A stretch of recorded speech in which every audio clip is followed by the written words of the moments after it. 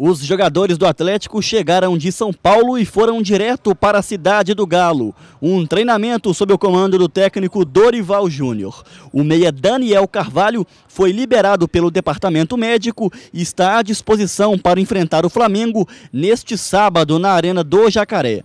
O treinamento foi sob o olhar de muitas crianças da Escola Maria Assunção de Marco, do bairro Goiânia de Belo Horizonte.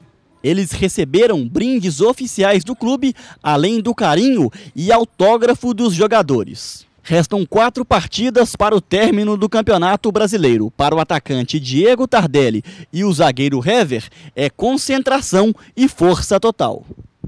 Jogo duro, né? Eu acho que a equipe do Flamengo é, está no momento um pouco mais confortável do que a gente na competição. Mas a gente sabe que se a gente conseguir esses três pontos, a gente pode estar encostando na equipe do Flamengo e, e disputando, enrolando um pouco mais a, a competição ali na, na zona da degola. Olha, o pensamento agora no brasileiro, né? A gente sempre falou que o nosso objetivo maior era o Campeonato Brasileiro.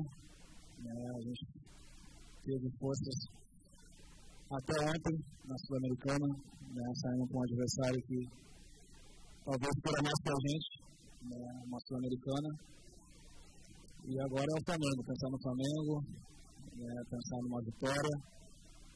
Acho que esse jogo, para a gente, é uma final, acho que vale um título para a gente vencer esse jogo, né, porque é um adversário que está perto né, de uma zona e a gente querendo sair, se distanciar.